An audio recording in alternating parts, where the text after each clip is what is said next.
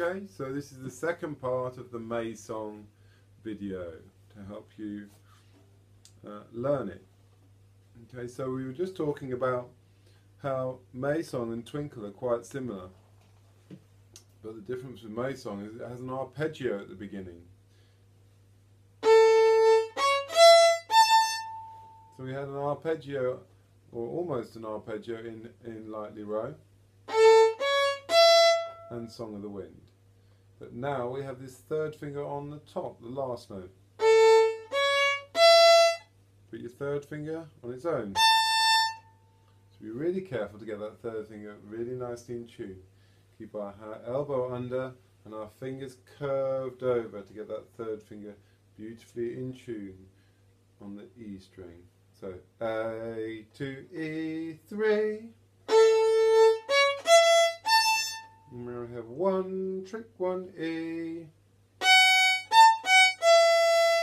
Join those together. A, two, E, three. One trick, one E.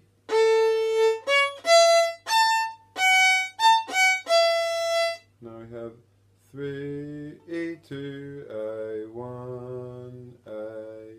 We have this super fast E. Three.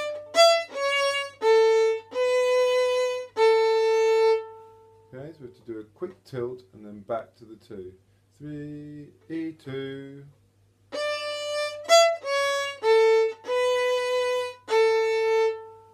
Okay, so that's the first section, the bread or the A section. Now I'll do the, the second section, which is very similar to the jam of, of Twinkle. Now have a super fast E again. So you have two, E two, one, two, one. Yeah, so it's all about getting that bow over neatly, watching your elbow go up and down. Two, E two, one. So we'll play that whole section. E, E, three,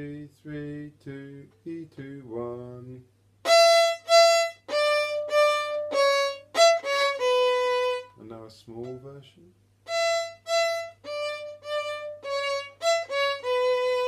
And now our last section, same as the first.